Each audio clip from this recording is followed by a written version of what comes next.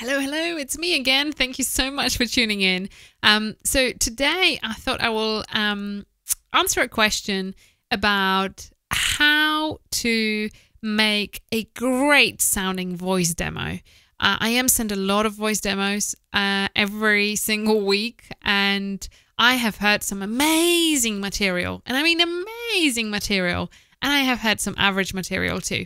And I have a list of things that I usually look out for.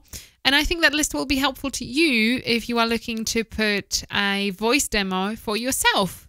So, first of all, now, one thing that uh, happens a lot is as a voice artist, you will default to a specific style.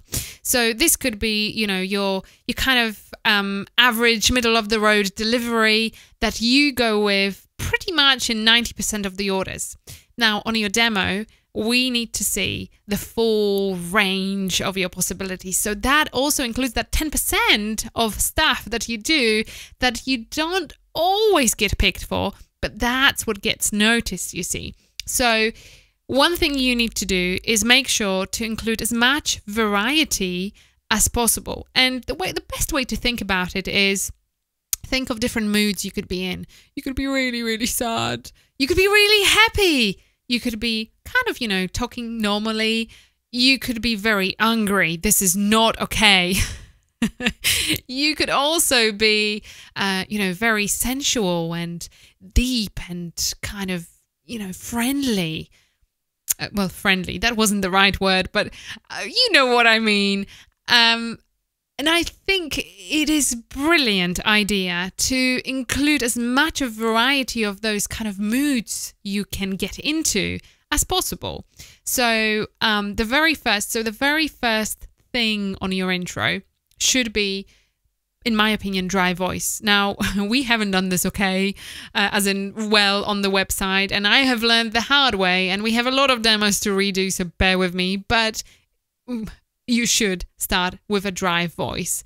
Now, the reason you should do that is you want to demonstrate to the potential producer, first of all, your recording quality, um, as well as um, just the kind of raw potential of the voice. Uh, that's that's how how I best can describe it. It's the raw potential of the voice that really matters here. Um, quite often, people think, "Oh, I'm going to put the the biggest client at the front," you know, but is it always that important? You see, I question that because um, and this could be entirely down to the producer, by the way. So um, I might be entirely of mark here, but in my opinion, really who you voiced for doesn't say much to me in terms of what your voice can do. So quite a lot of, um, uh, you know, in, in a lot of the, the cases, I hear the big brands. When I get the demo, it's the big brands, you know, and there will be the ad for John Lewis, Marks and Spencer, and there will be Toyota and BMW and whatever other big brand you've recorded for. But is it really what matters? Mm, no. No, it doesn't. Oh, it really doesn't. Because, in my opinion, you could have the best voice in the world and you have not been given the opportunity yet. And if I was to look at the brands first, I would be discriminating 90% of applicant, applicants. Literally, that's as simple as that. Because, uh, in in a way, um, yeah, that's just that's just true. And and there were some voice artists who, when when first applied to us, had fairly limited amount of of um, good gigs under their belt. Yet their voice was absolutely magnificent and amazing, and still is to work with, and it's so unique. So yeah, mm, big brands, not so much, in my opinion. Again, I will highlight that in my opinion. You may be having your own. But um, in my opinion, what matters is variety and how quickly you can demonstrate that variety. So I would also say that it's important that you produce demos specifically. Don't be afraid to produce material specifically for a demo. Uh, again, you know, this comes down to not necessarily wor- worrying about uh, putting in, um, you know, just a lot of good things you've done. I appreciate as a voice artist, you may not be producer and therefore you cannot produce your own um, your own demo and material, but but you will need to find a producer who will. It's not always cheap as well. Uh, I've seen demo materials going for as much as a thousand pounds up. I think that's an overkill, frankly. Um, but uh, yeah, an average, an industry average that I have had um, occasion to look at is probably around three hundred pounds for around ninety second demo.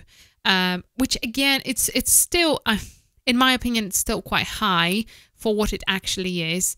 But actually well 90 90 seconds if it's really well produced and there is a lot of a lot of elements in that 90 seconds then that's justified. Um, but 90 seconds and if it's like four or five different pieces not justified at all. Um, so yeah. So so do your research there for sure. Uh, so what do you need to do? Demonstrate as much variety as you can, and I will highlight it over and over and over and over and over again, and then make sure to start with a dry voice. Do you know my favorite demos are actually those that tag at the start a custom message? And it could be something as simple as, um, Hey, Izabela, or the name of the person you are applying to. Uh, thank you for tuning into my demo. I just wanted to do a quick record and say hello. This is how my voice sounds in my natural recording studio um, without any processing. I hope you enjoy my demo do you know how lovely it is to get that? And how rare it is to get it uh, which uh, which is really surprising. I, I don't know why people don't do it more often but to me from from the uh, decision maker point of view it shows a lot about that voice and uh, about the the work ethics and just general kind of positivity and eagerness to do work. So huge huge huge plus if you do that um, so custom message at the start. The demo shouldn't be longer than 90 seconds. Uh, I mean, in reality, I will not listen to anything longer than 90 seconds. I will skim through it. Um, there were probably, out of all the applications I've ever had, there may have been two or three that I've listened from start to finish full in full. And the reason I've listened to them is they were very captivating and they were custom written. So the the scripts in there uh, had nothing to do with actual clients and all to do with the variety and complexity of of the skills the voice had. So uh, fabulously written. I really wish I had those demos here to play to you. Um, there was one um, done, produced, recorded and produced by now our producer and also voice artist Eric. Uh, he's produced a fantastic demo for his own voice. Uh, if I find it, I will tag it at the end of this uh, video and podcast for, for you to listen to. But I, I thought he's done an amazing amazing job, both production wise as well as sort of scripting and, and just making it very creative in a very clever way. It captivated me. It it kept my attention going and that's a hard thing to do. So so he's done a good good job there. So I will try and look for it. Uh, I really hope I will find it. I can't I can't promise I will, but I really really will do my best to do so, uh, and hopefully uh, we'll we'll share that with you. Uh, so yes, so we've covered uh, I think three things. So one uh, is not worrying about the brands and more about a variety. Two, putting really a lot of attention on variety. And three, uh, captivating the um, listener by adding a custom message. Um, number four, 90 seconds. So there you go. Four, four different things. 90 seconds is definitely mm, enough. I would say it's definitely enough. Uh, and uh, another thing, um, be clear on what your niche is. Okay. So a lot of the time, uh, I get um, voice artists who specialize exclusively in audiobooks. And that's a very different niche to what we do. I mean, we do, obviously, we do audiobooks, but majority of the work we do will be radio imaging, podcast intros, outros, commercials, very different kettle of fish altogether, you know? And uh, it's kind of good to know where you are applying, what kind of work they do, and what kind of demo they may be interested in. So when you send that demo, make sure it's a demo that that targets the kind of audience that they target.